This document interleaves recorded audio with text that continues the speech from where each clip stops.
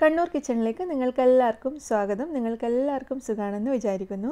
ഇന്നലെ ഞാൻ വീഡിയോ ഇട്ടില്ല. കുറച്ച് തിരക്കായിരുന്നു. അതുകൊണ്ട് തന്നെ വീഡിയോ ഇട്ടില്ല എന്ന് മാത്രമല്ല കഴിഞ്ഞ വീഡിയോയുടെയൊക്കെ നിങ്ങളുടെ കുറേ പേരുടെ കമൻസിന് എനിക്ക് റിപ്ലൈ തരാനും പറ്റിയില്ല. അപ്പോൾ ഇന്ന് ഞാൻ എല്ലാ കമൻസിനും റിപ്ലൈ തരുന്നതായിരിക്കും.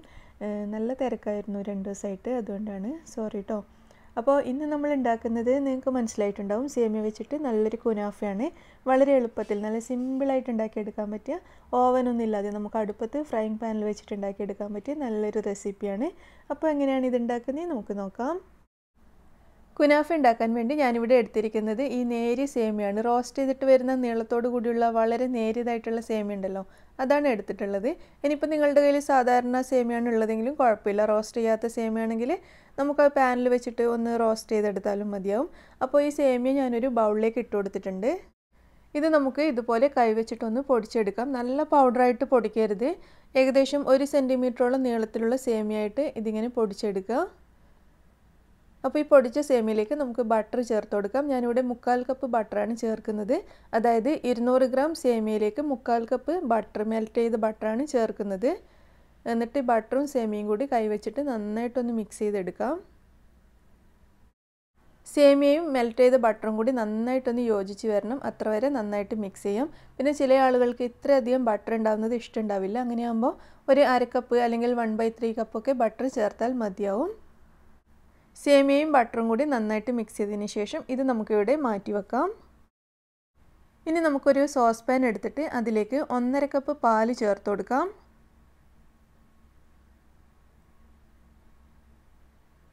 ഇനി ഇതിലേക്ക് ഞാൻ ചേർക്കുന്നത് ക്രീമാണ്. ഞാനിവിടെ തിക്ക് ക്രീമാണ് എടുത്തിരിക്കുന്നത്. നിങ്ങൾക്ക് ഫ്രഷ് ക്രീമാണ് ഇഷ്ടമെങ്കിൽ അത് ചേർക്കാം. ഇനി അല്ലെങ്കിൽ വിപ്പിംഗ് ക്രീം വേണമെങ്കിൽ അത് ഹെവി ക്രീം നിങ്ങൾക്ക് ഇഷ്ടമുള്ള ക്രീം ചേർത്ത് കൊടുക്കാം. ഞാനിവിടെ തിക്ക് ക്രീമാണ് ചേർക്കുന്നത്. ഇത് രണ്ട് ബോക്സ് എടുത്തിട്ടുണ്ട്. ഒരു ബോക്സ് നൂറ്റി ഇരുപത്തഞ്ച് ലിറ്റർ ഉള്ളത്. അപ്പോൾ മൊത്തത്തിൽ ഇരുന്നൂറ്റമ്പത് മില്ലി ലിറ്റർ ക്രീം ചേർത്ത് കൊടുക്കുന്നുണ്ട്. അതായത് ഒരു കപ്പ് ക്രീം അപ്പോൾ രണ്ട് പാക്കറ്റ് ക്രീമും ഇതിലേക്ക് ചേർത്തിട്ടുണ്ട്. ഇനി ഇതിലേക്ക് രണ്ട് ടേബിൾ സ്പൂൺ കോൺഫ്ലോർ ചേർത്ത് കൊടുക്കാം. രണ്ട് ടേബിൾ സ്പൂൺ പഞ്ചസാര ചേർക്കാം. എല്ലാം കൂടി നന്നായിട്ടൊന്ന് മിക്സ് ചെയ്തെടുക്കാം. തിക്ക് ക്രീം ആയതുകൊണ്ട് നമ്മൾ മിക്സ് ചെയ്യുന്ന സമയത്ത് ചെറിയ ചെറിയ കട്ടകളൊക്കെ ഉണ്ടാവും. അത് കുഴപ്പമില്ല. ചൂടായി വരുമ്പോഴേക്കും അതൊക്കെ അങ്ങ് മെൽറ്റ് ആയിക്കോളും. ഒന്ന് മിക്സ് ചെയ്തതിന് ശേഷം ഇത് നമുക്ക് അടുപ്പത്തേക്ക് മാറ്റാം. അടുപ്പത്ത് വെച്ചിട്ട് ഇത് നന്നായിട്ട് ഇതേപോലെ ഇളക്കി ഇളക്കി തിളപ്പിച്ചെടുക്കുക. കണ്ടില്ലേ? ഇത് ചൂടായി വരുന്ന സമയത്ത് കട്ടയൊക്കെ മുഴുവൻ ഉടഞ്ഞിട്ടുണ്ട്. ക്രീമിന്റെ കട്ടയൊന്നും ഇപ്പോൾ ഒട്ടും കാണാനില്ല. നല്ല സ്മൂത്തായി വന്നിട്ടുണ്ട്. അപ്പോൾ ഇത് നല്ല തിക്കായിട്ട് വരുന്നുണ്ട്. കണ്ടില്ലേ? കുറച്ച് കട്ടിയായിട്ട് വരാൻ തുടങ്ങിയിട്ടുണ്ട്. ഈ സമയത്ത് ഇതിലേക്ക് ഒരു ടേബിൾ സ്പൂൺ റോസ് വാട്ടർ ചേർത്ത് കൊടുക്കാം.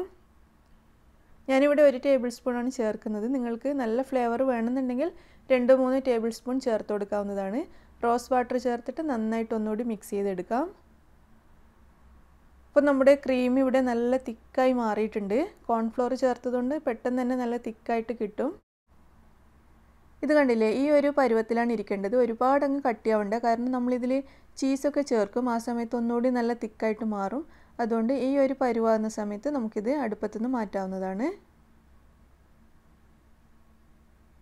അടുപ്പത്തുനിന്ന് മാറ്റിയതിന് ശേഷം നമുക്കിതിലേക്ക് മൊസാർല ചീസ് ചേർത്ത് കൊടുക്കാം. ഞാൻ ഏകദേശം ഒന്നേ കാൽ കപ്പോളം മൊസാർല ചീസ് ഇതിലേക്ക് ചേർത്തിട്ടുണ്ട്. അപ്പോൾ നിങ്ങളുടെ നിങ്ങൾക്ക് ഇത്രയും ചീസ് ആവശ്യമില്ലെങ്കിൽ ഒരു മുക്കാൽ കപ്പ് വരെയൊക്കെ ചേർത്താൽ മതി. ഇനി ഞാൻ ഇതിലേക്ക് ചേർക്കുന്നത് പനീറാണ്. ഇതിപ്പോൾ ഞാൻ ഇതിലേക്ക് ചേർക്കാൻ വേണ്ടിയിട്ട് ഫ്രഷ് ആയിട്ട് ഉണ്ടാക്കിയെടുത്ത പനീറാണ്. ഒരു കപ്പ് പാലും ഒരു ടീസ്പൂൺ വിനാഗിരിയും ചേർത്തിട്ട് ഉണ്ടാക്കിയെടുത്തതാണ്. നമുക്കിത് എളുപ്പത്തിൽ ഉണ്ടാക്കിയെടുക്കാമല്ലോ പനീർ ഉണ്ടാക്കാൻ മിക്ക ആൾക്കും അറിയായിരിക്കും വളരെ ഈസിയാണ്. അപ്പോൾ ഞാനൊരു വീഡിയോ ചെയ്തിട്ടുണ്ട്. അത് പക്ഷേ പാൽപ്പൊടിയും കൂടി ഉപയോഗിച്ചിട്ടുണ്ടാക്കുന്ന പനീറിന്റെ റെസിപ്പിയാണ്.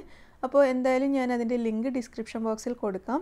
അപ്പോൾ നമ്മളിത് നല്ല ഫ്രഷ് ആയിട്ട് ഉണ്ടാക്കുന്ന സമയത്ത് ചേർത്ത് കഴിഞ്ഞാലും ഒരു പ്രത്യേക ടേസ്റ്റാണ് മാത്രമല്ല ഇങ്ങനെ പൊടിക്കുന്ന സമയത്ത് കയ്യിൽ വെച്ചിട്ട് നമുക്ക് വളരെ ഈസി ആയിട്ട് പൊടിക്കാനും പറ്റും. പനീറും മൊസറല ചീസും ചേർത്തിട്ട് നന്നായിട്ടൊന്ന് മിക്സ് ചെയ്തെടുക്കാം. പിന്നെ നമുക്ക് കടയിൽ നിന്ന് വാങ്ങിക്കുന്ന പനീറും ചേർക്കാം കേട്ടോ ഞാനിപ്പോൾ ഫ്രഷ് ആയിട്ട് വീട്ടിൽ ഉണ്ടാക്കിയത് കൊണ്ട് അതിനെപ്പറ്റി പറഞ്ഞു എന്ന് മാത്രമേ ഉള്ളൂ. കടയിൽ നിന്ന് വാങ്ങിക്കുന്ന പനീർ വെച്ചിട്ട് നമുക്കിത് ഉണ്ടാക്കാവുന്നതേ ഉള്ളൂ. അപ്പോൾ പനീറും നമ്മുടെ മൊസാറിലൊക്കെ ചേർത്ത് നന്നായിട്ട് ഇതൊന്ന് മിക്സ് ചെയ്തെടുത്തിട്ടുണ്ട്. ഇത് നമുക്കിവിടെ മാറ്റി വെക്കാം. അപ്പോൾ നമ്മളിന്ന് ഇതുണ്ടാക്കുന്നത് ഫ്രൈങ് പാനിൽ വെച്ചിട്ടാണ്. അപ്പോൾ ഫ്രൈങ് പാനിന്റെ മുകളിൽ ഞാനൊരു അലൂമിനിയം ഫോയിൽ റൗണ്ടിൽ കട്ട് ചെയ്തിട്ട് വെച്ച് കൊടുത്തിട്ടുണ്ട്.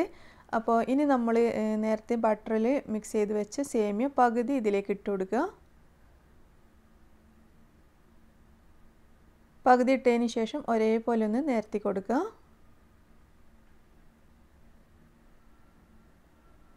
ഒരു സ്റ്റീൽ ബൗൾ വെച്ചിട്ട് ഇതേപോലെ ചെയ്യുകയാണെങ്കിൽ നമുക്ക് എളുപ്പത്തിൽ ചെയ്യാൻ പറ്റും. ഒരേ നിരപ്പിൽ കിട്ടുകയും ചെയ്യും. ഒരേപോലെ ഒന്ന് നേരത്തേന് ശേഷം നമ്മളിപ്പോൾ ഉണ്ടാക്കിയ പാലും ക്രീമും ഒക്കെ ചേർന്നിട്ടുള്ള ഈ മിക്സ് ഇതിന്റെ മുകളിലേക്ക് ഒഴിച്ചു കൊടുക്കാം. പിന്നെ ഇന്ന് ഞാൻ ഉണ്ടാക്കിയ ഈ ക്രീം രണ്ട് ഇതേ സൈസിലുള്ള രണ്ട് കുനാഫയ്ക്ക് വേണ്ടിയിട്ടുള്ളതാണ് കേട്ടോ. അത് ഞാൻ നേരത്തെ പറയാൻ വിട്ടുപോയതാണ്. രണ്ട് കുനാഫ ഉണ്ടാക്കാൻ ആവശ്യമായിട്ടുള്ള ക്രീമാണ് ഞാൻ ഉണ്ടാക്കിയിരിക്കുന്നത്. അപ്പോൾ അതുകൊണ്ട് തന്നെ പകുതി ക്രീമാണ് ഇതിലേക്ക് ചേർത്തിട്ട് നേരത്തെ കൊടുത്തിരിക്കുന്നത്. സേമിയ ഒരെണ്ണത്തിനുള്ളത് മാത്രമേ ഉള്ളൂ കേട്ടോ. ഇരുന്നൂറ് ഗ്രാം സേമിയ നമുക്ക് ഈ ഒരു കുനാഫയ്ക്ക് വേണ്ടിയിട്ട് മാത്രമുള്ളതാണ്. അപ്പോൾ ക്രീം നിരത്തിയതിന് ശേഷം ബാക്കിയുള്ള സേമിയ മുഴുവനും ഇതിന്റെ മുകളിലേക്ക് ഇട്ട് കൊടുത്തിട്ട് അതും ഒന്ന് നന്നായിട്ട് നിരത്തി കൊടുക്കാം.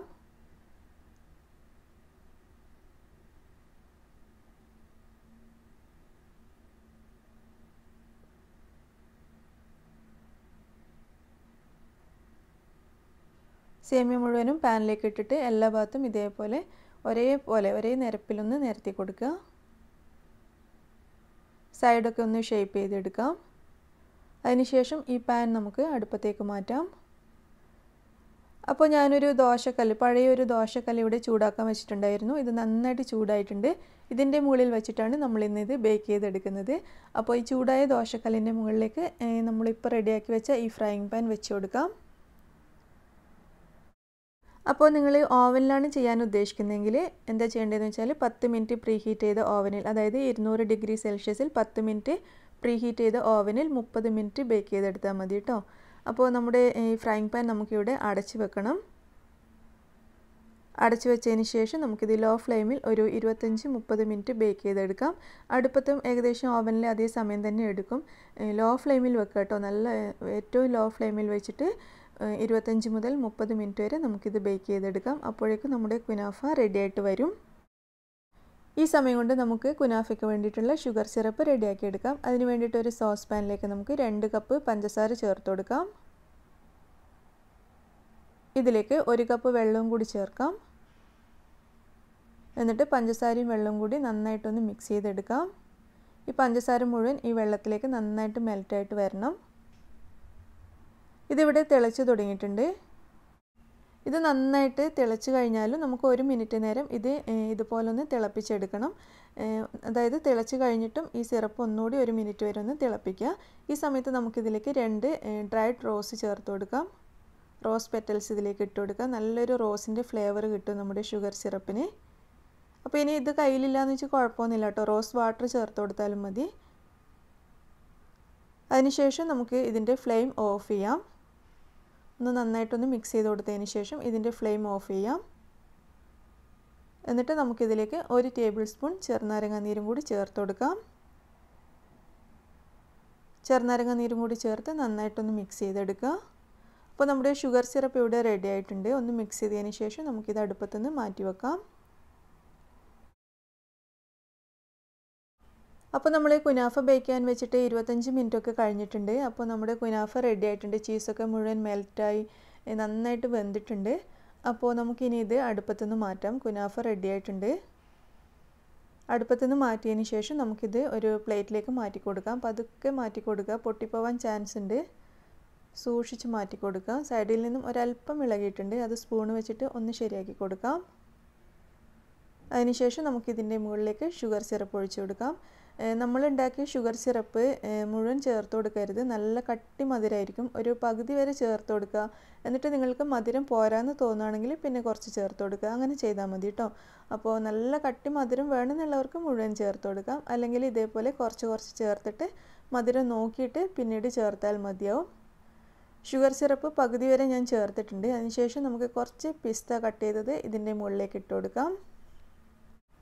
അങ്ങനെ നമ്മുടെ നല്ല ടേസ്റ്റി കുനാഫ റെഡി ആയിട്ടുണ്ട്. നമുക്കിത് കട്ട് ചെയ്തിട്ട് ഒരു പ്ലേറ്റിലേക്ക് മാറ്റി കൊടുക്കാം. ഞാനിത് ചൂടോട് കൂടി തന്നെ പ്ലേറ്റിലേക്ക് മാറ്റുകയാണ് അപ്പോൾ നിങ്ങൾക്കിത് തണുപ്പിച്ചിട്ട് കഴിക്കാനാണ് ഇഷ്ടമെങ്കിൽ ഫ്രിഡ്ജിലേക്ക് മാറ്റിയിട്ട് നന്നായിട്ട് തണുത്തതിന് ശേഷം കഴിക്കാം. ചൂടോടുകൂടി കഴിക്കാൻ നല്ല ടേസ്റ്റാണ് കേട്ടോ അങ്ങനെ നമ്മുടെ നല്ല ടേസ്റ്റി കുനാഫ ഇവിടെ റെഡി ആയിട്ടുണ്ട്. വേമിസെല്ലി വെച്ചിട്ട് നമുക്ക് നല്ല അടിപൊളിയായിട്ട് ഉണ്ടാക്കാം. കുനാഫ ഡോ ഇല്ലെങ്കിലും കുഴപ്പമില്ല. സേമിയ വെച്ചിട്ട് നമുക്ക് നല്ല സൂപ്പറായിട്ട് തന്നെ കുനാഫ ഉണ്ടാക്കിയെടുക്കാൻ പറ്റും.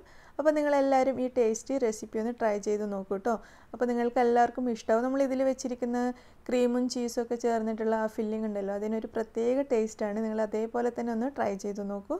അപ്പോൾ നിങ്ങൾക്ക് ഈ റെസിപ്പി ഇഷ്ടമായി എന്ന് വിചാരിക്കുന്നു. ഇഷ്ടമാവുകയാണെങ്കിൽ ലൈക്ക് ചെയ്യാനും ഷെയർ ചെയ്യാനും നിങ്ങളുടെ അഭിപ്രായങ്ങൾ അറിയിക്കാനും മറക്കരുത്. താങ്ക്